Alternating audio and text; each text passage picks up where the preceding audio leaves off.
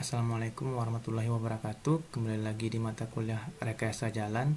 Kali ini saya akan membahas mengenai perencanaan tebal perkerasan lentur menggunakan uh, metode AASTO tahun 1993 Atau teman teman-teman mahasiswa juga bisa menggunakan buku pedoman perencanaan tebal perkerasan lentur yaitu PTT 01 2002 strip B.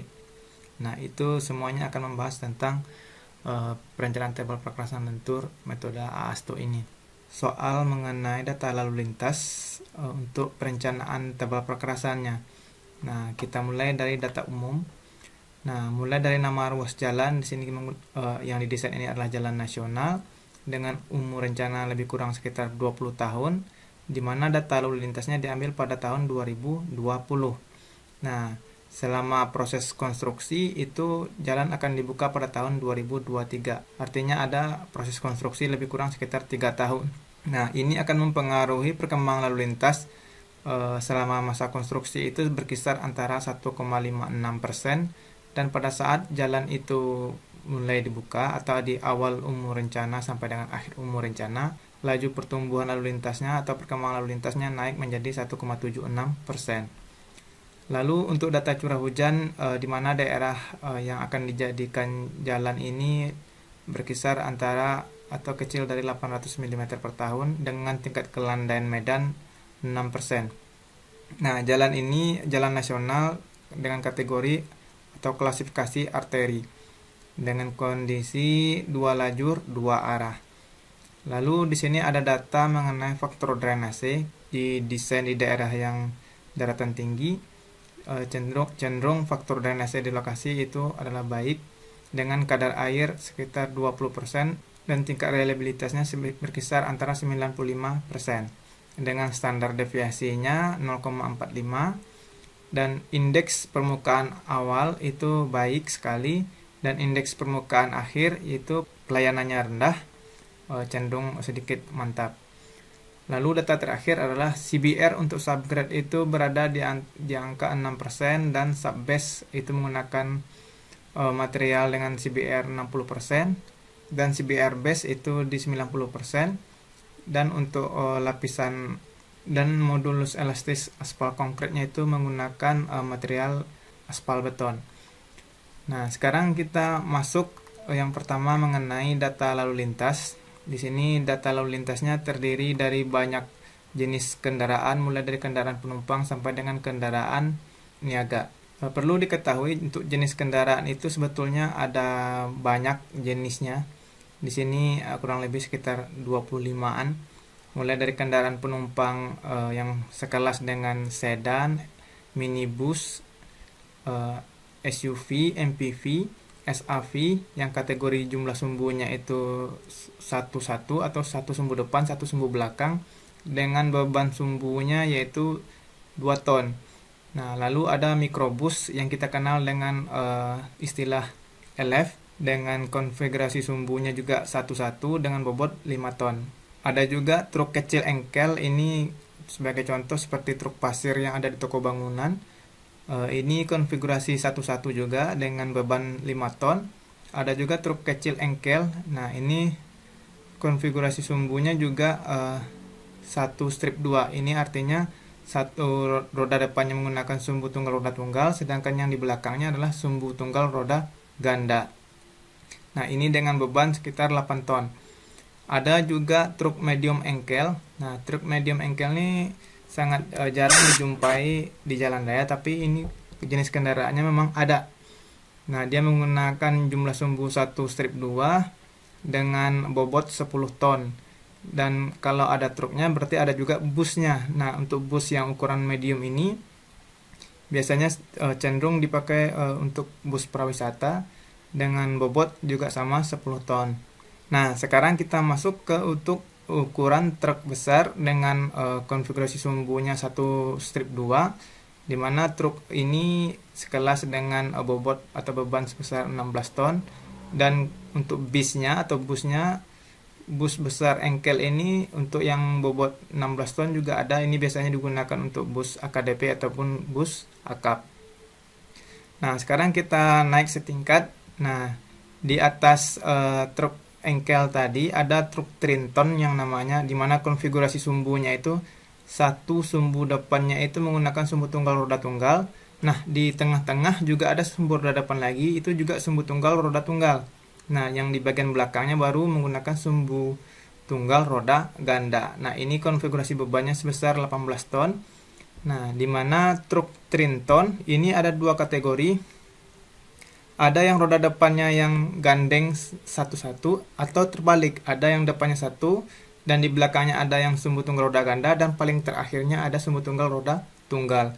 Namun kedua-duanya ini memiliki beban e, eh, 18 ton. Nah untuk yang di bus besar ada juga yang satu strip 2 ini untuk jumlah sumbunya. Ini kita kenal dengan bus premium. Biasanya dia menggunakan e, sasis yang e, buatan Eropa uh, boleh dibilang seperti Mercedes uh, 1836 atau Scania K360 ini juga memiliki bobot uh, beban 18 ton. Ini secara nyata bentuknya hampir sama dengan yang 16 ton tapi dia dimensinya lebih panjang. Nah di atas ini juga ada bus uh, Trinton atau yang sering kita kenal dengan bus double decker. Nah itu juga konfigurasinya itu 1.2 strip 1 di mana satu sumbu tunggal roda tunggal bagian depan dan bagian belakangnya sumbu tunggal roda ganda. Dan paling terakhir sekali juga dibantu dengan sumbu tunggal roda tunggal. Dan bus ini di memiliki memiliki beban sumbu sekitar 25 ton. Yang seterusnya itu ada truk tronton uh, truk tronton 1 strip 2.2 ini artinya adalah uh, truk uh, yang memiliki sumbu tandem Artinya di depan sumbu tunggal roda tunggal yang di belakangnya adalah tandem atau kita juga kenal dengan istilah sumbu ganda roda ganda dengan beban 25 ton dan di atasnya juga ada yang namanya truk trintin. Nah, kalau truk trintin ini adalah penambahan dari truk tronton di bagian roda depannya. Karena roda depannya itu ada yang tandem, cuman dia menggunakan uh, sumbu roda tunggal, roda tunggal. Tapi dia juga memiliki beban sebesar 30 ton. Di atasnya ada lagi truk tribal. Truk tribal ini biasanya digunakan uh, oleh perusahaan untuk membawa kayu log atau kayu logging atau membawa kayu akasia. Ini truk yang terpanjang yang ada di Indonesia dengan kondisi rigid. Nah, dengan konfigurasi beban sebesar 35 ton. Ada juga untuk truk engkel gandeng. Nah, ini kalau kita biasanya pergi ke daerah Jawa Tengah atau Jawa Timur, ini akan ketemu dengan truk gandeng di mana truk engkel yang memiliki ekor untuk yang ditariknya itu 2 strip 2 ini dengan konfigurasi beban juga sebesar 35 ton. Nah ada juga e, untuk truk tronton gandeng. Kalau tadi engkel sekarang gandeng. Ini juga banyak di beredar di daerah Jawa Tengah dan Jawa Timur. Nah, ini biasanya digunakan untuk membawa muatan e, tebu untuk pabrik gula. Nah, selanjutnya untuk yang bagian ke bawah ini kategori untuk uh, trailer dan semi trailer. Untuk trailer itu sendiri mulai dari yang terkecil itu dengan beban 25 ton sampai dengan yang terbesar itu lebih uh, dari 45 ton. Nah, ini jenis kendaraan yang kita gunakan dalam acuan mendesain uh, tebal dari perkerasan jalan. Nah, data ini akan kita gunakan untuk menghitung uh, faktor ekuivalen dari masing-masing sumbu kendaraan itu sendiri. Di mana dari jenis kendaraan ini kita kelompokkan jenis sumbunya mulai dari sumbu tunggal roda tunggal, sumbu tunggal roda ganda, sumbu ganda roda ganda, ada juga sumbu trindem roda ganda. Perlu dipahami terlebih dahulu di mana sumbu tunggal roda tunggal itu artinya uh, ban di sebelah kiri dan sebelah kanannya itu tetap satu. Nah, kalau sumbu tunggal roda ganda artinya di kirinya itu ada dua atau double dan di kanannya juga ada double. Sedangkan sumbu ganda roda ganda itu cenderung kita kenal dengan istilah sumbu tandem roda ganda artinya 4 di kiri dan 4 di kanan. Sedangkan yang sumbu trindem roda ganda ini ada 6 di kiri dan 6 di kanan. Dari faktor ekuivalen ini kita dapat dari masing-masing jumlah sumbu di mana faktor ekuivalen ini bisa kita hitung menggunakan rumus di setiap masing-masing uh, jenis sumbunya. Nah, faktor ekuivalen kendaraan ini bisa kita lihat dari konfigurasi sumbu Nah, di sini ada pengelompokan jenis-jenis kendaraan seperti yang diceritakan tadi. Uh, jenis kendaraan, konfigurasi sumbu kendaraan, jumlah sumbu kendaraan, sampai dengan uh, jumlah berat izin uh, dari masing-masing kelas. Artinya jalan raya itu memiliki kelas ada yang kelas 1, ada yang kelas 2. Ada juga untuk jalan tol. Nah, karena yang kita desain ini adalah jalan arteri, maka yang kita gunakan data acuannya sebagai berat izin adalah JBI kelas 1. Di sini ada presentasi beban tiap sumbu dalam satuan persen, baik dari STRT, STRG, SGRG, atau STR, STRRG. Nah, dari sini kita bisa perhatikan Nah, kita mulai dari kendaraan kecil atau kendaraan penumpang, katakanlah ini adalah mobil SUV. Nah, dengan bobot 2 ton itu akan disebar kepada dua sumbu. Nah, dua sumbunya itu ada 50% untuk roda depan dan 50% untuk roda belakang. Di sini bisa terlihat.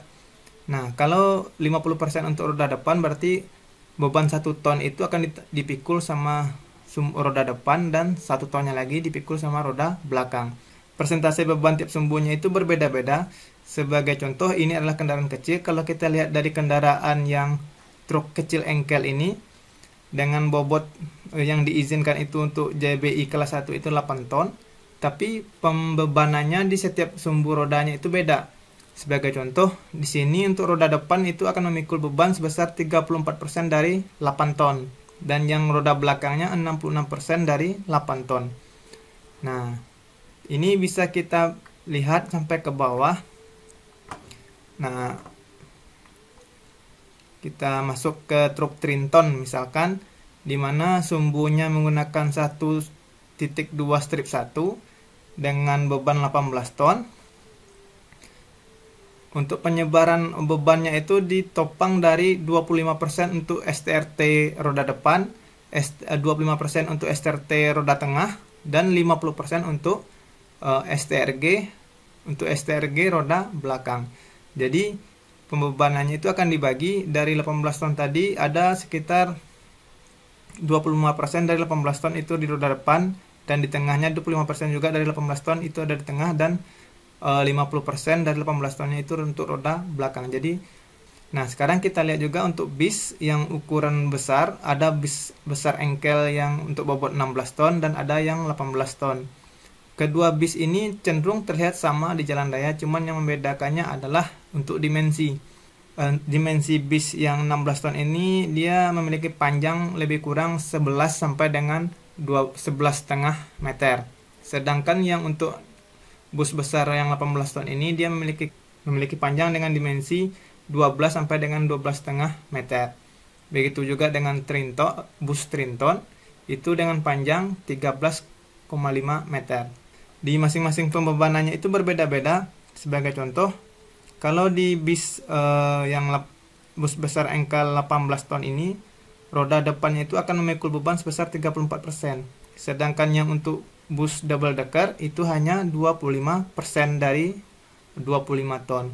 Sedangkan yang untuk roda belakangnya itu ada terbagi dua lagi. 50% yang untuk sumbu tunggal roda ganda dan 25% untuk sumbu tunggal roda tunggal. Sedangkan yang untuk bus besar 18 ton itu roda belakangnya memiliki sumbu tunggal roda ganda maka memikul beban sebesar 66%.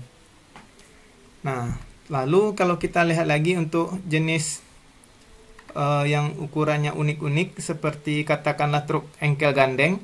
Nah, di mana konfigurasinya satu strip 2, strip 11. Nah, ini biasanya digunakan untuk membawa angkutan tebu di daerah Jawa Tengah atau Jawa Timur, di mana untuk bu, roda, untuk kendaraan yang di depan ini untuk roda depannya itu memikul beban sebesar 18% dan roda belakangnya 46%. Sedangkan gandengannya itu akan memikul beban 18% dan 18%.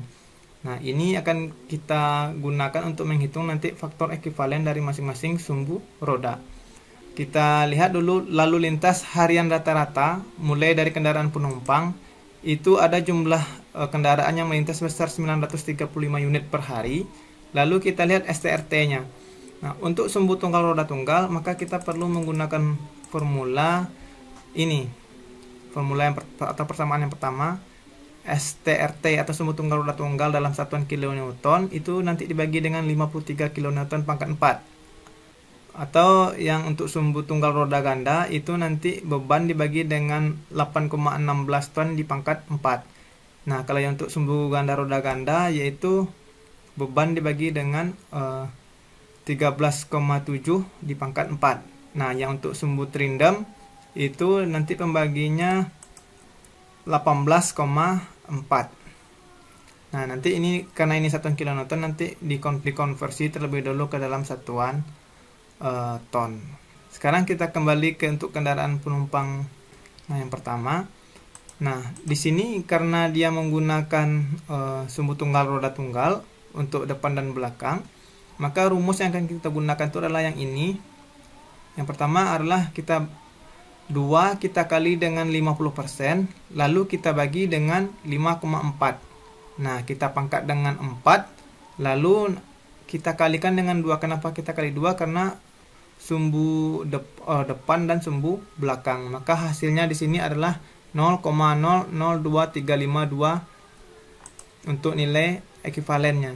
Sedangkan yang untuk katakanlah truk uh, bus mikro ini dengan uh, bobot 4 ton dengan penyebaran uh, beban di masing-masing sumbunya itu 50%, kita akan menggunakan rumus yang STRT juga. Nah, seperti di sini 5 ton kita kali dengan 50%. Nah, lalu kita bagi dengan 5,4, kita pangkat 4. Karena ada sumbu depan dan sumbu belakang, maka kita kali dengan 2. Maka hasilnya adalah 0,09187 untuk ekivalen. Nah, kalau yang untuk sumbu ganda, nah ini ada beda rumus. Yang untuk roda depannya kita menggunakan rumus STRT. Nah, ini untuk roda depan. Karena STRT-nya cuma ada satu sumbu, maka di sini tidak ada pengkali pengalian yang lain. Yang di sini hanya dikali 8 dikali dengan uh, eh, 34% dibagi dengan 5,4 di pangkat 4. Sedangkan untuk sumbu belakangnya, sumbu belakangnya 8 dikali dengan 66% dibagi dengan 8,16 eh, nah ini untuk sumbu tunggal roda ganda nanti kita pangkat 4 maka hasilnya adalah 0,23967 lalu kalau kita lihat dengan kondisi yang unik nah yang unik seperti katakanlah bus double decker ini nah di sini kondisi bus double decker memiliki dua sumbu tunggal roda tunggal di bagian depan satu dan paling belakang sekali satu. Maka yang kita gunakan di sini adalah 25 ton dikali dengan 25 persen. Nah, karena untuk setiap sumbu tunggal roda tunggalnya itu mem memikul beban sebesar 25 persen, lalu dibagi dengan 5,4 di pangkat 4. Nah, dikali 2. Duanya itu adalah roda depan dan roda, roda paling belakang sekali didapat hasilnya sebesar 3,589. Sedangkan untuk sumbu tunggal roda gandanya karena dia memiliki sumbu tunggal roda ganda di bagian tengah, maka 25 ton dikali dengan 50% dibagi dengan 8,16 di pangkat 4. Nah, maka didapat hasilnya adalah 5,5 di lalu hasil ini nanti kita tambahkan atau ekivalen sumbu tunggal roda tunggal ditambah dengan ekivalen sumbu tunggal roda ganda. Kalau kita bandingkan dengan yang di truk tronton, nah truk tronton itu dia memiliki sumbu tunggal sumbu tunggal roda tunggal untuk roda depannya, sedangkan untuk roda belakangnya memiliki sumbu ganda roda ganda atau sumbu tandem roda ganda. Nah, pembebanannya 25% dan 75%. Maka untuk sumbu tunggal roda tunggal di sini kita masukkan nilai 25 ton dikali dengan 25% dibagi dengan 5,4 di pangkat 4 karena sumbu depannya cuman ada satu STRT nya maka cukup di pangkat 4 maka hasilnya adalah 1,79 sedangkan untuk sumbu tandem roda gandanya atau sumbu ganda roda gandanya kita posisikan juga di posisi SGRG atau di STDRG ini. Nah di sini yang kita masukkan adalah 25 ton dikali dengan 75% dibagi dengan 1,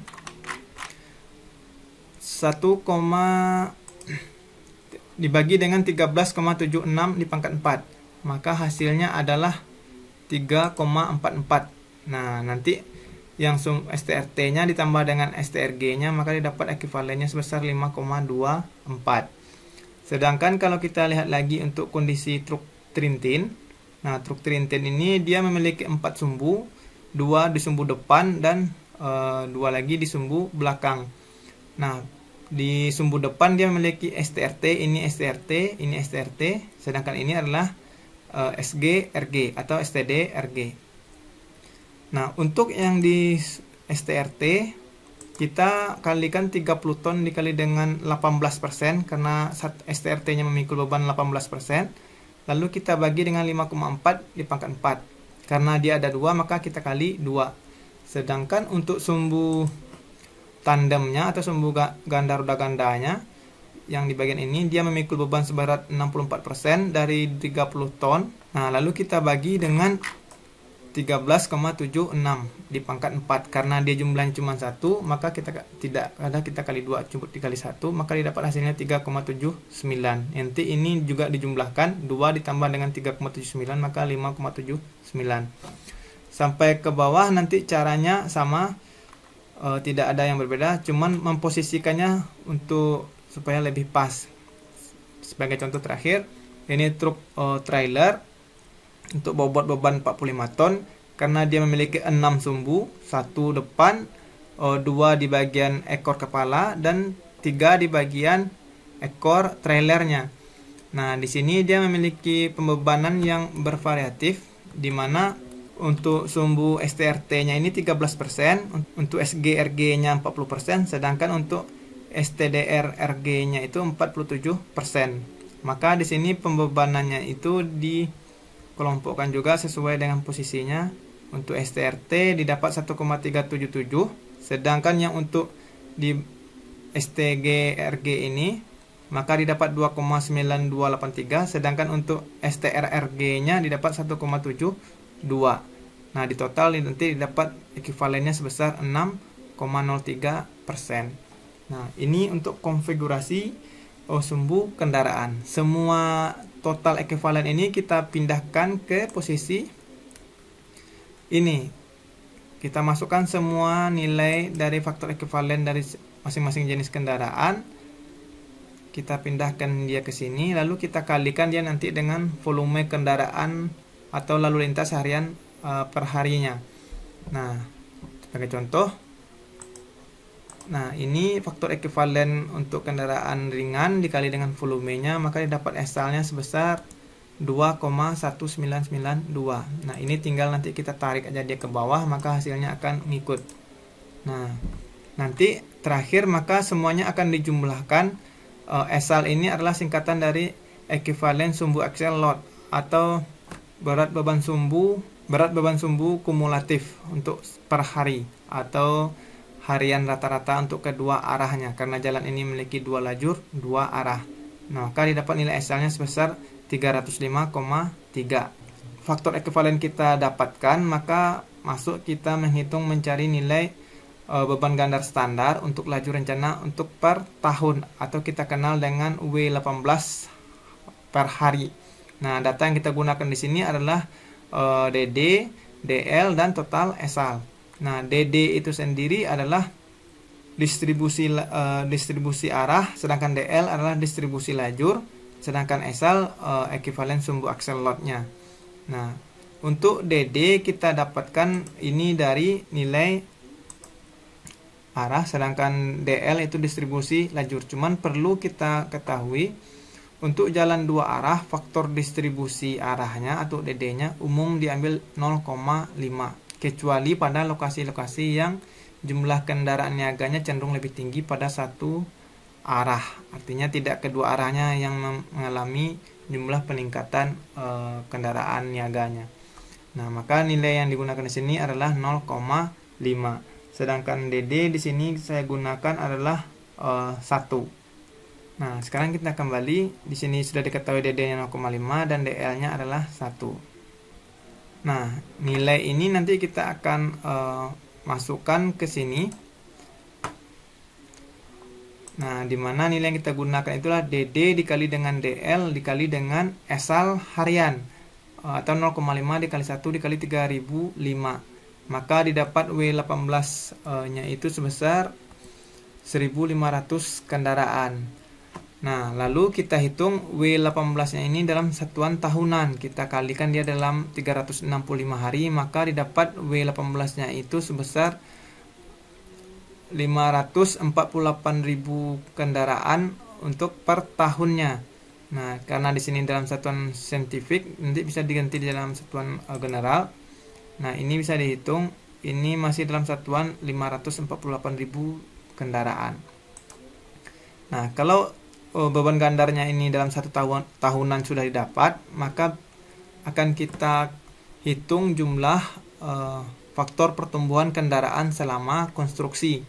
Nah, selama masa konstruksi uh, tentu kita akan uh, memakan waktu dalam perencanaannya mulai dari penentuan rute, uh, perancangan geometrik jalan sampai dengan uh, proses uh, pekerjaan uh, perkerasan jalannya itu sendiri. Maka waktu yang dihabiskan di sini adalah dari tahun 2020 sampai dengan tahun 2023. Nah, perlu kita kali dengan faktor pertumbuhan dengan formula yang kita gunakan adalah W18. Nah, nilai W18 ini kita kali dengan 1 ditambah G. G adalah faktor pertumbuhannya dipangkat dengan N. N adalah oh, waktu yang dihabiskan selama masa konstruksi. Nanti dikurang 1 lalu dibagi lagi dengan faktor pertumbuhan. Nah, hasil ini e, untuk faktor pertumbuhan ini di sini dapat nilainya kurang lebih sebesar 3. Nah, dikali dengan jumlah esal sebanyak 548.000 kendaraan, maka didapat jumlah kendaraan yang melintas itu lebih kurang 1.671.220 kendaraan. Nah, ini dikenal dengan istilah WT. Kalau yang ini dalam satu tahunan ini masih dalam W18, sedangkan ini adalah WT. Nah, setelah uh, beban gandar standar untuk laju rencana ini didapat, maka kita akan menghitung yang namanya uh, beban ganda standar untuk laju rencana selama umur rencana. Nah, kalau ini umur konstruksi, ini umur rencana. Di soal sudah kita ketahui kalau umur rencana jalan kita uh, ber, uh, dimulai dari 2023 sampai dengan 20 tahun ke depan. Maka di sini juga akan dipengaruhi lagi oleh faktor pertumbuhan kendaraan, di mana faktor pertumbuhan kendaraan yang di sini adalah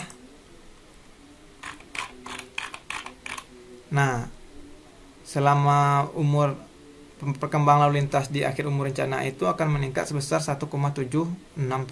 Sedangkan di masa konstruksi itu faktor pertumbuhannya berada di 1,56%. Jadi ada peningkatan sedikit di masa umur rencananya yang di 20 tahun tersebut.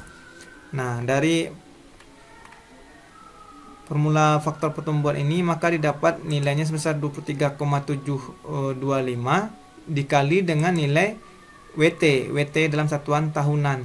Maka didapat di sini nilainya adalah 39.649.877 kendaraan. Nah, ketika WT-nya ini sudah kita ketahui, kita akan uh, hitung berapa nilai dari log W18-nya ini. Log W18 ini juga sama halnya dengan log W uh, log WT. Nah, di sini kita tinggal masukkan rumus log 10. Nah, nanti buka kurungnya ini kita klik ke arah WT ini lalu kita enter. Artinya yang kita dapatkan di sini adalah nilai ITP-nya atau uh, tebal dari indeks tebal perkerasan kita itu sebesar 7,59. Nah, ini kita hitung dulu, nanti kita lanjutkan di setelah menghitung indeks per, permukaan. Nah, di nomor 6 kita akan mencari indeks permukaan. Indeks permukaan ini kita membutuhkan data IPT dan IP0. Nah, di sini eh, kita melihat dari soal untuk IPT-nya itu kondisinya adalah baik sekali dan nilainya adalah 4. Sekarang akan kita lihat nilai IPT-nya itu berkenapa bisa jadi 4 nah untuk nilai IP ini untuk persentase responden yang e, menerima kalau jalan baru itu bagus. Nah nilainya berapa? Nah pengelompok nilai itu ada di sini untuk interpretasinya. Kalau satu itu kategorinya buruk kalau lima itu kategorinya sangat baik atau sesuai dengan fungsi pelayanan. Nah di soal tadi disebutkan bahwa untuk IP-nya itu uh, nilainya nilainya adalah baik, berarti nilainya ada 4. Sedangkan IPT-nya di sini uh, di soal juga disebutkan tadi untuk IPT-nya itu dalam kondisi uh, buruk cenderung sedikit mantap. Nah, di sini nilainya adalah 2. atau kalau kita lihat dalam untuk persentase itu biasanya persentase responden yang menerima itu sebesar 3%, 84% itu menolak. Nah, di sini nilainya adalah 2. Sedangkan untuk uh, eh, IPF atau nilai uh, indeks perkerasan yang terburuk itu nilainya adalah 1,5. Nah, nilai ini nanti akan kita gunakan dalam uh, menentukan indeks perkerasan. Nah, di sini juga perlu diketahui terlebih dahulu untuk indeks permukaan di akhir umur rencana ini kita perlu kondisikan dengan klasifikasi jalan. Nah, karena klasifikasi jalan kita itu adalah arteri, maka untuk IPT terendahnya itu adalah 2. Apakah boleh kita menggunakan e, IPT-nya itu lebih rendah dari 2? E, tidak, kalau untuk arteri, untuk kelancaran jalan itu nilai terendahnya cukup 2. Kalau untuk nilai tertingginya boleh sampai dengan 5 atau 4,5. Nah, ini kondisi dari uh, indeks perkerasan baik dari sisi klasifikasi jalan ataupun dari jenis material yang digunakan untuk perkerasannya. Di sini juga ada tabel untuk jenis lapis perkerasan. Nah, di sini akan direncanakan uh, perkerasan itu menggunakan lapisan aspal beton Nah, dengan IP 0-nya itu berkisar di antara 3,9 sampai dengan 3,5 atau ada yang lebih besar daripada 4 dengan uh, tingkat uh, ketidakrataan atau nilai irinya dalam satuan meter per kilometer itu kecil sama dari 1. Nah, makanya dipilih nilai 4 untuk IP-nya dan IPT-nya 2. Nah, atau lebih jelas lagi saya beristikan seperti ini, 4 itu dalam kondisi baik sekali dan 2 itu adalah tingkat layanan terendahnya.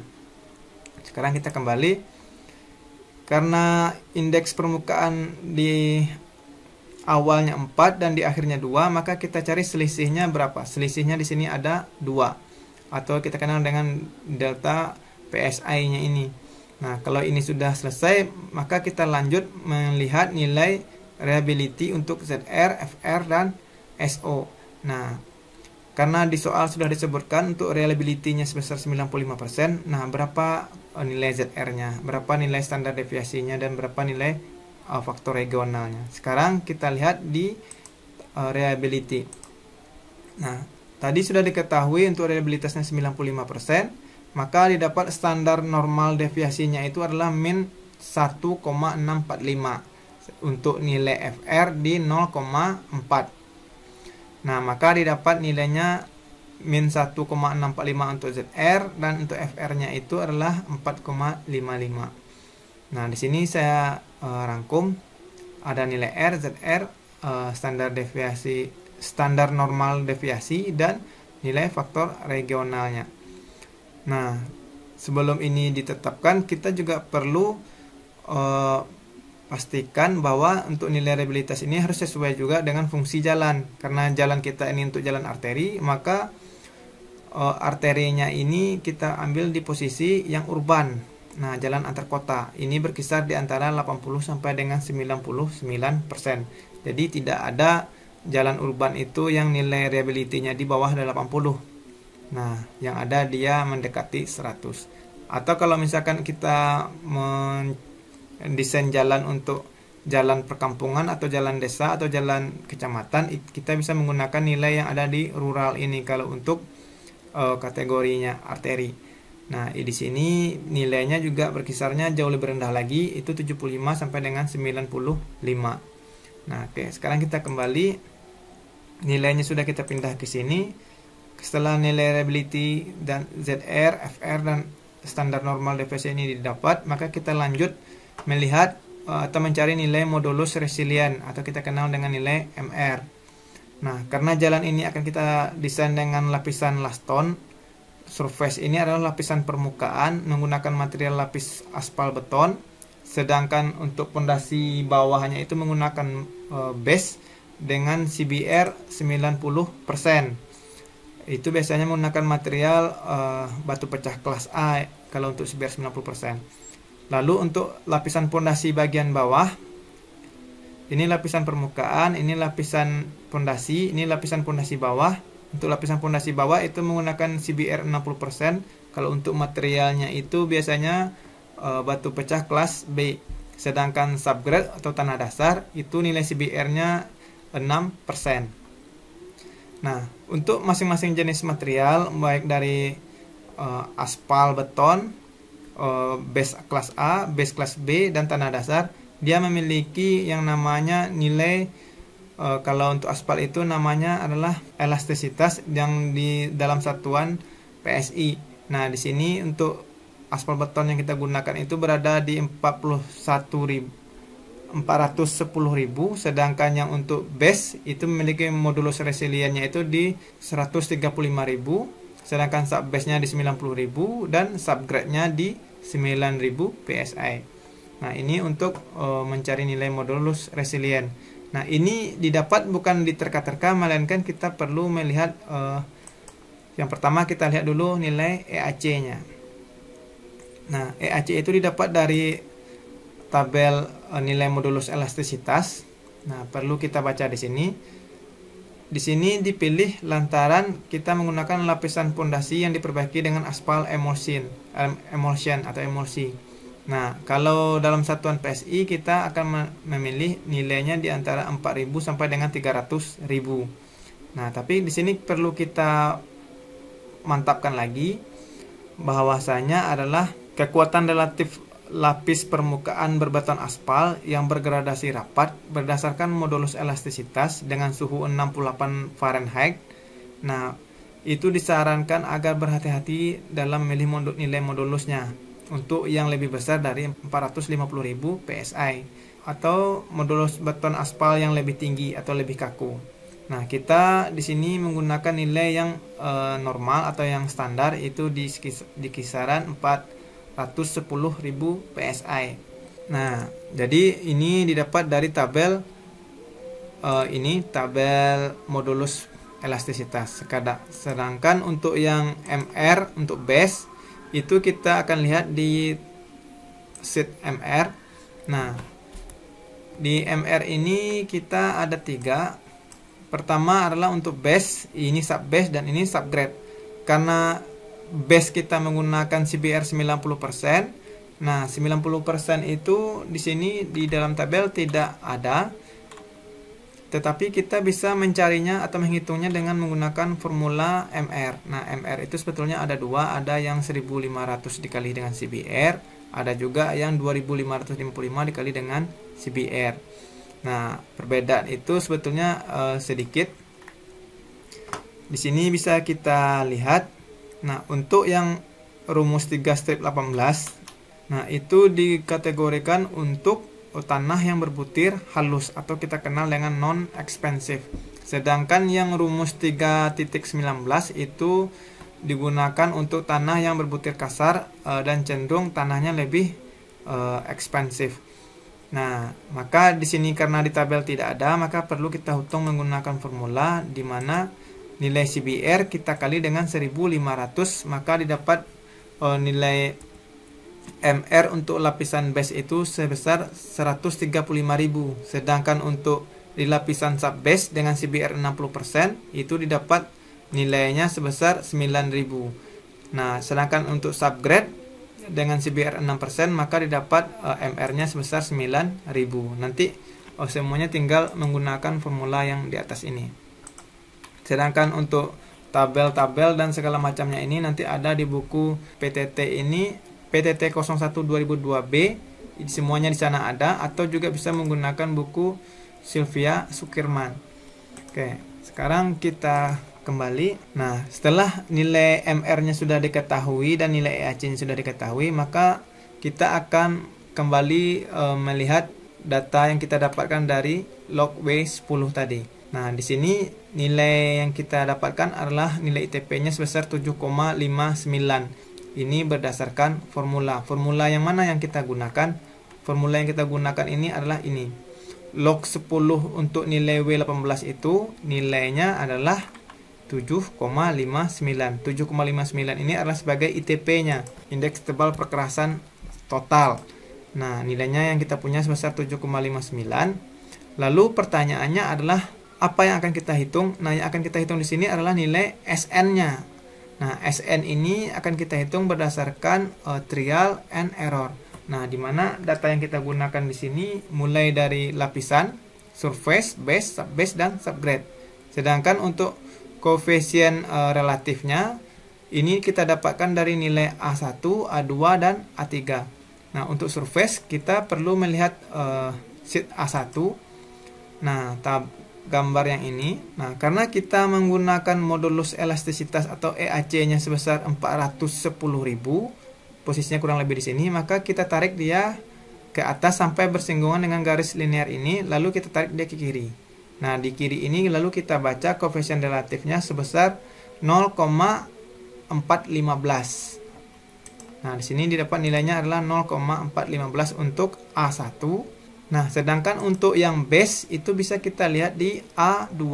A2 itu gambarnya yang ini. Nah. Nah, untuk A2 data kita adalah data CBR untuk uh, lapisan base. Karena data CBR lapisan base kita 90%, maka kita cari posisi 90%, kita tarik dia ke kiri. Kita baca. Nah, kalau berdasarkan e, dari data CBR tarik ke kiri ini akan didapat nilai A2-nya 0,135. Kalau misalkan tidak menggunakan gambar yang ini, kita bisa menghitungnya dengan e, formula, di mana formula yang akan kita gunakan itu adalah ini. A2 sama dengan 0,249 dikali dengan log 10 EBS atau modulus elastisitas base dikurang dengan 0,977. Nah, di sini didapat hasilnya sebesar 0,134. Artinya nilainya e, cenderung sama. Karena nilai ini sudah didapat, e, maka kita lanjut ke posisi subbase. Nah, subbase ini nilai koefisien relatifnya kita bisa menggunakan sheet A3. Nah, di sheet A3 ini kita punya data CBR sebesar 60%. Oke, A3 kita itu di 60 subbase ya eh, subbase kita di 60% maka ini perlu kita tarik dia ke atas. Kita cari posisi di angka 60% nah 60% atau kita baca di sini nilainya lebih kurang sebesar. Kalau ini 0,12 ini 0,14 berarti 0,13 nya di sini. Kurang lebih sebesar 0,128 kita coba 0,128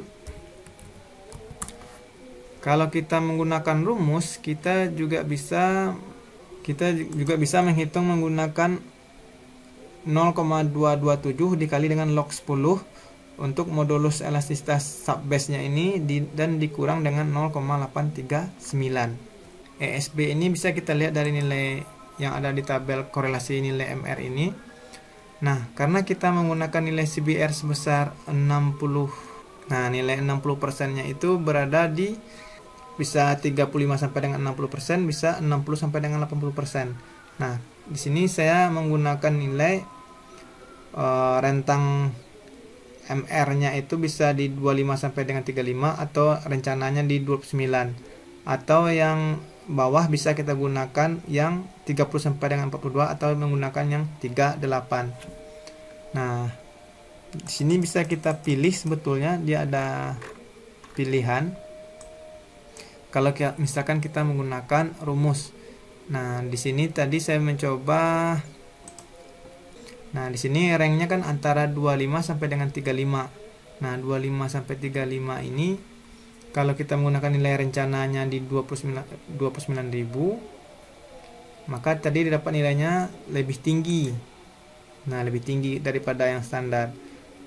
Kalau kita coba nilai yang terendah di nilai 25.000 maka didapat hasilnya 0,15 nah ini untuk A3 ya A3 saya menggunakan nilai data yang manual sepertinya. Ini data manual manual dan ini yang manual. Nah lalu di sebelahnya ada nilai CBR CBR base 90 sub base 60 dan subgrade nya adalah 6% nah di sebelahnya lagi ada nilai M. M ini adalah uh, pengaruh dari saluran drainase. Nah nilai M ini bisa kita lihat dari sheet yang M Nah, di mana pengelompokan kualitas drainase itu mulai dari kondisi kualitasnya mulai dari yang tertinggi itu baik sekali di mana prosesnya akan mengering selama waktu kurang dari 2 jam. Sedangkan kondisi yang jelek sekali itu air selalu menggenang. Nah karena di soal tadi dikatakan kondisi drainasenya itu baik artinya dalam waktu kurang dari satu hari air yang ada di kiri kanan jalan itu akan mengalir atau mengering dalam waktu kurang dari 24 jam. Nah, lalu ini perlu kita korelasikan dengan pengaruh dari kadar air yang mendekati jenuh di sekitaran uh, bawah pondasi jalan. Nah, di soal tadi nilainya adalah 20%. Nah, 20% itu dalam kondisi baik juga. Nah, ini di sini baik, kita pindah baiknya ke sini. Nah, dengan faktor kadar airnya sebesar 20%, di sini bisa kita pilih oh, atau bisa kita interpolasi. Nah, di sini saya hanya memilih nilai M-nya itu berada di 1,075. 1,15 ya 1,075 yang dipilih. Oke, sekarang kita kembali nilai M-nya untuk ketiga-tiganya mulai base, base, upgrade itu nilainya sama. Lalu untuk nilai MR, nilai MR yang sudah kita hitung uh, di atas di sini ini kita pindah posisinya untuk yang di base, sub base dan subgrade. Kita masukkan dia ke sini. Begitu juga dengan nilai ZR. ZR untuk ketiga masing-masing perkerasan ini surface base sub base ini nilainya adalah sama. Jadi ini kita pindah dia ke posisi uh, kolom yang di sini. Begitu juga dengan standar normal deviasi, kita pindah dia ke sini. Lalu kita hitung delta PSI-nya. Delta PSI kita adalah 2. 2 ini didapat dari IPT dikurang dengan uh, IP 0 nah maka oh ini terbalik. Ini harusnya IP 0 dan ini IPT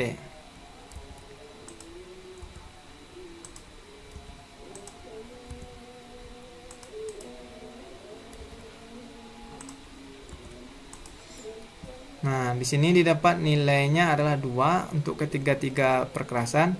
Lalu nilai log 10 18 eh, asal kita itu nilai 7,59 ini sudah kita hitung di awal. Nah, nilai ini kita pindah dia posisinya ke sini. Sekarang pertanyaannya SN trial kita itu berapa? Nah, sebelumnya nilai SN ini kita belum punya. Sebagai contoh kita bikin aja di sini dulu satu, satu, satu. Nah, SN ini adalah struktur number atau kita kenal dengan istilah nilai uh, berapa dari masing-masing uh, perkerasan ini ketebalannya itu berapa. Nah, di sini kita dibantu dengan uh, empat persamaan mulai dari ZR dikali SO ditambah dengan 9,36 dikali log 10 dikali dengan ITP tambah 1 dikurang dengan 0,2 persamaan ketiganya log 10 untuk delta IP dikurang dengan IP 0 dikurang IPF ini IPF bukan IPT ya. IPF itu nilai yang paling terendah kalau IPT adalah uh, target terakhirnya. Lalu ini dibagi dengan 0,4 ditambah dengan uh, eh, 1094 dibagi dengan ITP ditambah 1 di pangkat 5,19. Untuk persamaan keempat, 2,32 dikali dengan 10 pangkat 10 eh, 2,32 dikali log 10 dikali nilai MR yang dikurang dengan 8,07. Nah, di sini bisa dibaca untuk lebih jelasnya. Pertanyaannya adalah nilai SN trial ini perlu kita lakukan uh, secara berulang atau trial and error. Nah, untuk memudahkan kita untuk menghitungnya, kita gunakan di Excel adalah goal seek. Uh, kita akan uh, menghitung nilai log W18 ini kita bagi dengan persamaan 1, 2 nilai ini kita bagi dengan jumlah persamaan 1, 2, 3, 4 ini nilainya harus 1 artinya log W18 dibagi dengan nilai persamaan ini nanti kembali nilainya adalah 1 maka perlu kita menghitung satu persatu di mana untuk ZR dikali SO untuk persamaan satunya kita gunakan data yang ini maka didapat hasilnya ini. Dan yang persamaan keduanya adalah oh, 9,36 dikali log 10 ITP tambah 1 dikurang dengan 0,2 maka didapat hasilnya di sini adalah ini. Persamaan ketiga uh, kita memasukkan nilai delta PSI.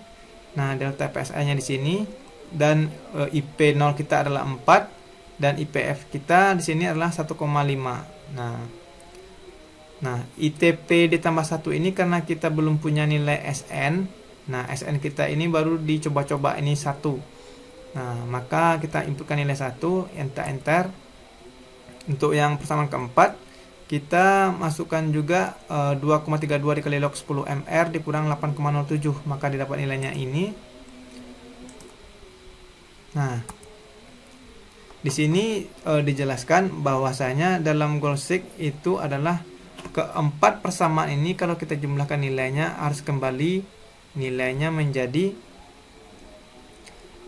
uh, 7,5982 atau sama dengan nilai log 10 uh, 18 esal. Sedangkan untuk kontrolnya nanti adalah jika log 10W18 ini dibagi dengan persamaan ini nilai di sini harus 1. Nah, sekarang saya perlihatkan uh, ini log W ini log 10W18 sedangkan yang ini adalah jumlah dari persamaan yang di sini. Nah, yang ditargetkan di sini adalah nilai yang ada di sini harusnya 111. Maka kita perlu bantuan Goalseek di Excel. Goalseek itu bisa kita pilih dari data, data, what if analysis. Nanti kita ambil Goalseek. Nah, di sini set selnya kita pilih yang pertama di sini. Nah, untuk target nilai yang kita tuju itu adalah 1 Terus nilai yang akan kita rubah uh, selnya itu adalah nilai yang ada di SN trial. Nah, ini kita enter, lalu kita oke kan. Maka didapat SN trialnya itu sebesar 3,869 untuk surface. Sedangkan yang untuk subbase kita lakukan juga hal yang sama. Goal seek, kita klik target 1 dan kita ganti setnya ke posisi yang nomor 2 atau di posisi base. Enter. Oke. Okay. Nah, maka SN-nya langsung keluar. Yang pertama 3,8, yang kedua 4,4.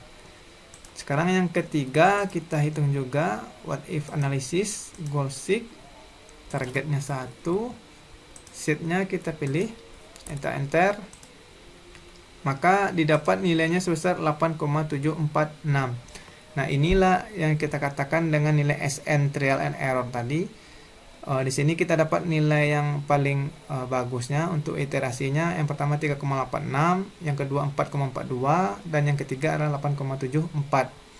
Nah, dengan kontrol di mana log 10W18 dibagi dengan jumlah persamaan ini nilainya tetap 1. Nah, SN ini sama halnya dengan ITP. Jadi jangan bingung pula di sini SN di sini ITP dia sama ini dalam struktur number kalau dan ini adalah indeks tebal perkerasan. Nah itu masalah penamaan saja. Nah ketika nilai SN ini sudah kita ketahui maka kita bisa lanjut menghitung uh, nilai nilai D untuk masing-masing perkerasan. Karena perkerasan kita mulai dari surface, base, sub base. Nah, maka untuk menghitung masing-masing itu kita mulai dari D1 di mana D1 itu didapat dari SN1 dibagi A1. Nah, SN1 kita nilainya sudah diketahui sebesar 3,5. Ini yang saya lakukan secara manual. Nah, kalau yang 3,87 saya lakukan secara matematis atau secara log 10W18 ini. Nah, di sini kelihatan 3,869 nilainya dibulatkan di sini jadi 3,87. Kalau yang dihitung secara manual, kita bisa menggunakan nilai SN. Nah, ini dihitung secara manual.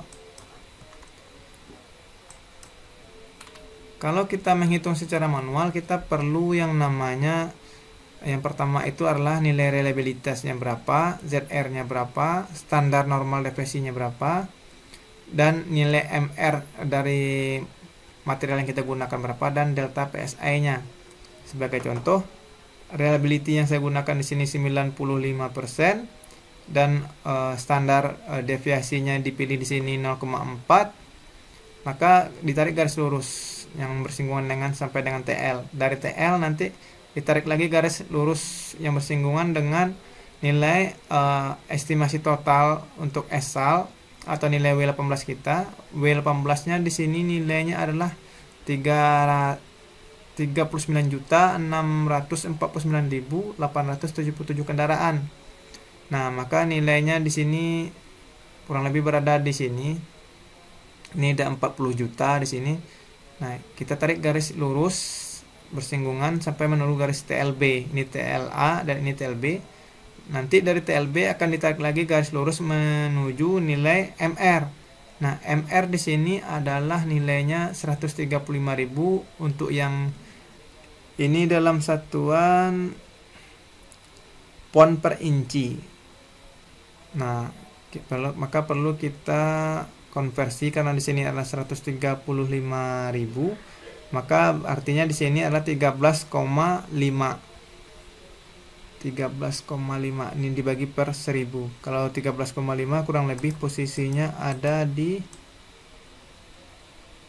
nah kurang lebih posisinya ada di sini.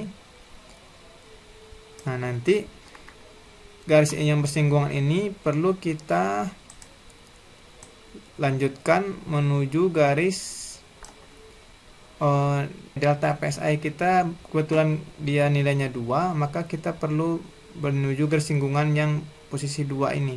Posisi 2 itu kurang lebih berada di nah ini posisi 2 nya ada di sini ini kita pindah. Nah garis yang bersinggungan dengan garis 2 ini garis 2 maka didapat nilainya adalah nah ini sekitar 4,55 kita rubah jadi 4,55 4,55 nah di sini kita rubah jadi 4,55 Nah, sekarang kita lihat di sini kalau nilai SN1 yang kita dapat secara manual itu 4,55, maka nilai ketebalan D1 itu adalah SN1 dibagi A1 atau 4,55 dibagi dengan 0,415 didapat ketebalannya lebih kurang sebesar 10,9 inci. Nah, atau setara dengan uh, 10,9 dikali dengan 2,54 nah ini tebal ini secara uh, proses pekerjaan di lapangan kalau kita hitung secara matematis karena secara matematis SN nya 3,87 maka didapat di sini nilainya adalah 9,322 inci. Nah, ini ada sedikit perbedaan antara menghitung dengan monomogram dan menghitung dengan matematis. Nah, ini untuk nilai D1 untuk D1 kita gunakan juga nanti untuk menghitung nilai di D2 di sini kita perlu menghitung nilai SN bintang 1 di mana nilai itu didapat dari A1 dikali D1 bintang. Nah A1 nya 0,415 dikali dengan D1 bintang itu adalah 10,964 maka didapat nilainya sebesar 0,455 Sedangkan yang secara matematis itu didapat nilainya 3,86. Nah, lalu untuk yang SN2 yang nomogram, ini kita cek lagi yang SN2-nya. Nah, yang SN2 kita lihat tabel yang di sini. Nah, karena kita menggunakan MR 9000 maka nanti akan sedikit ada perubahan. Nah, kalau 9000 berarti 9 nilainya di sini. Nah, 9 itu kita geser di bawah up. Nah, garis yang bersinggungan di sini adalah garis yang ini. Lalu untuk yang ininya berada di posisi ketiga. Oke, di sini dia. Oke maka nilainya berkisar antara 5,6 ini kita ubah jadi 5,6 nah masukkan nilainya di sini. 5,6 nah nanti akan didapat nilai SN2 nya itu sebesar untuk D2 nya itu sebesar 7,235 inci. Kalau dihitung secara manual atau dengan nomogram kalau secara matematis di sini didapat nilainya 3,802.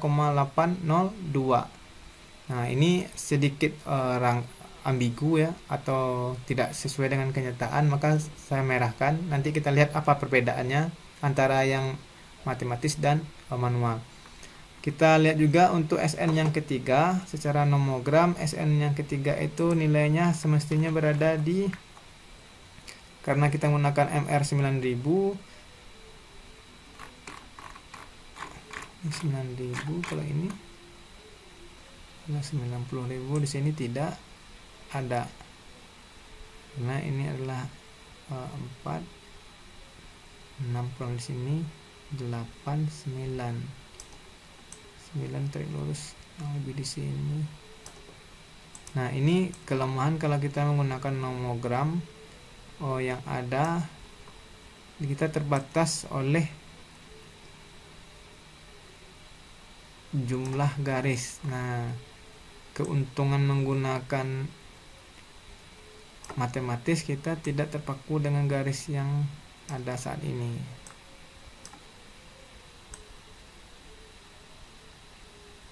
Nah, di sini kurang lebih nilainya sekitar 1,1 ini 2, berarti ini 1,5, 1,8. Kembalikan dulu ini 1,8. 1,8.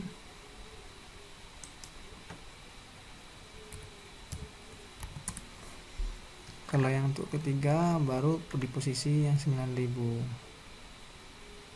9000 itu ada di sini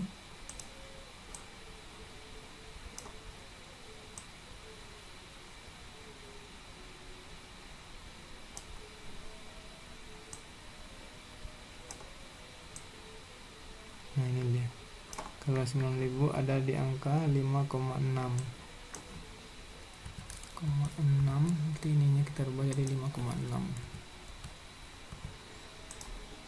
Nah, sekarang kita lihat. Nah, di sini di sini didapat untuk nomogram didapat D1 sekitar 10,9 inci, D2-nya itu min 18. Nah, ini lebih ambigu lagi. Dan yang D3-nya 27,6. Kalau yang di matematis 9,32, 3,8, 31 inci. Sekarang kita bandingkan. Nah, untuk yang nomogram untuk D2-nya itu tidak logis. Min. Kalau yang di log 10W18 itu masih ada 3,8 inci. Sekarang kita bandingkan secara lebih uh, detail. yang kita bandingkan di sini adalah ketebalan secara inci. Kalau kita konversi ke dalam 1 cm itu kurang lebih sekitar lapisan surface itu 27 cm atau 28 cm itu sangat tebal. Nah kalau yang secara matematis itu kurang lebih ketebalan sekitar 23 cm nah jadi lebih logis yang secara matematis. Kedua untuk uh, lapisan D2 nya atau lapisan base kalau yang di manual itu minus nggak masuk akal. Kalau yang di matematis itu ketebalnya lebih kurang sekitar 9,6 cm nah sedangkan untuk subbase nya di 79,8 cm nah ini wajar ini. Kalau di sini 70 di sini 79 nah kita perlu perhatikan yang namanya ketebalan minimum.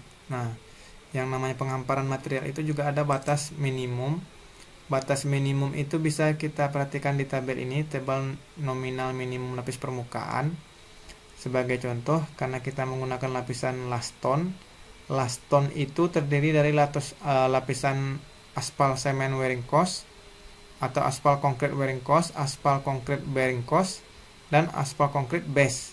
Nah, ini ketebalan minimalnya sudah diatur. Mulai dari 4 cm untuk ACBC, ACBC-nya 5 cm dan ACBS-nya 6 cm. Nah, jadi kita tidak boleh lebih kecil daripada ini. Kalau bisa lebih gede daripada ini. Nah, nilai ini yang kita masukkan ke sini. Nah, ini ketebalan minimum itu kita total tadi 10 cm karena dia ada ACBC, ACBC dan ACBS. Nah, ini di total minimal dia harus 10 cm. Nah, yang kita pakai adalah yang dibulatkan karena kita punya lebih gede.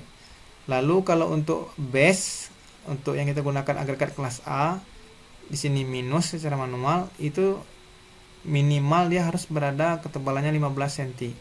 Kalau kita lihat di matematis di sini kita dapat 9,7 sementara yang minimumnya harus 15. Artinya kita di sini harus menggunakan yang minimal.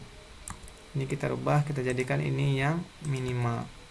Lalu untuk yang lapisan subbase kalau di sini mendapatkan nilai 70 ini bisa kita gunakan. Sedangkan yang di sini 79 ini juga bisa kita gunakan. Jadi artinya yang kita lakukan perhitungan itu ada batas yang wajar dan ada yang tidak wajar. Nah data yang tidak wajar ini perlu kita pahami uh, seperti apa kondisinya. Secara, secara sederhana bisa saya jelaskan aspal itu dia sangat mahal. Tentu dalam perencanaannya dia selalu dibikin lebih uh, efektif dan ergonomis. Tidak mungkin dia dibikin tebal dan untuk mengelontorkan biaya yang besar itu nggak nggak mudah. Makanya biasanya orang merencanakan lapisan aspalnya itu dalam kondisi pas optimum dan nanti yang tebal itu adalah lapisan base dan lapisan sub base nah itu yang akan ditebalkan atau yang diperkuat. Kalau lapisan surface diperkuat itu akan menghasilkan biaya yang sangat besar. Meskipun penambahannya dalam hitungan senti tapi itu tidak wah tidaklah wajar. Sekarang kita lihat pembagian dari masing-masing lapisan. Di sini semua lapisan kita bagi. Surface itu kita ambil dua lapisan mulai dari aspal konkret wearing cost dan aspal konkret bearing cost. Nah kalau misalkan di aspal konkret wearing costnya kita ambil ketebalan 5 cm nanti kita akan menghitung berapa ketebalan yang bisa kita gunakan di uh, aspal konkret bearing cost. Nah, di sini kita perlu menggunakan rumus untuk tebal ACWC itu bisa kita dapatkan dari ini maksudnya ACBC ini. Untuk tebal ACBC itu bisa kita dapatkan dari D surface dikali A surface dikali dengan tebal ACWC. Lalu dibagi dengan A ACWC.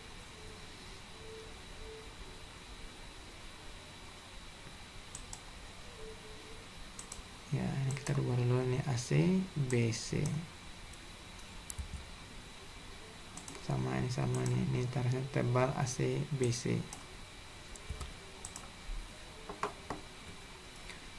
Nah, kalau di secara nomogram ini untuk lapisan ACWC nya kita bikin 5 cm, lapisan ausnya. Sedangkan lapisan bawahnya itu oh kita pakai 26 cm. Oh, itu kita gunakan rumus yang ada di atas ini di mana rumus yang kita gunakan adalah uh, D surface, D surface kita 27,9 dikali dengan A surface. A surface-nya itu 0,415 ini. Lalu kita kurang dengan tebal ACWC. Tebal ACWC kita uh, kita ambil yang minimum 5 cm. Lalu nanti kita bagi dengan A ACWC, bagi lagi dengan 0,415. Uh, ini ACBC maaf salah tulis ini harusnya ACBC maka didapat hasilnya lebih kurang sebesar 26 cm kalau secara hitungan manual kalau ini didapat 22 cm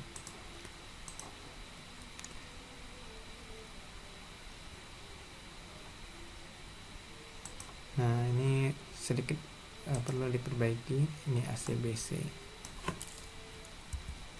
dan ini juga AC BC